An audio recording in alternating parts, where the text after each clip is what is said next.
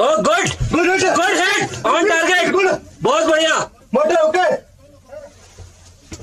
Repeat repeat repeat मोटे repeat मोटे repeat आप थोड़ा ऊपर लो ये तो बैंग ऑन गया ऊपर है ना?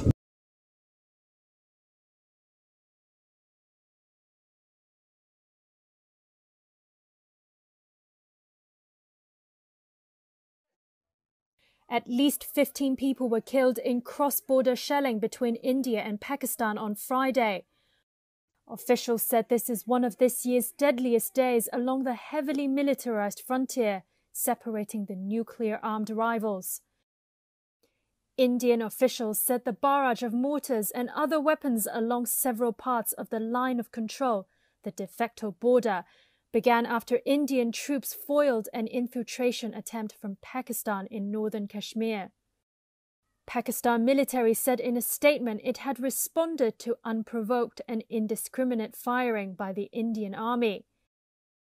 Both India and Pakistan claim Kashmir in full, each rules part of the region, with New Delhi long accused its neighbor of fueling an insurgency, which Pakistan denies.